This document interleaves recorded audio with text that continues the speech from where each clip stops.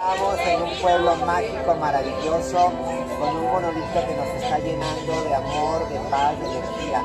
Así que gracias por todo lo recibido. Gracias, gracias, gracias.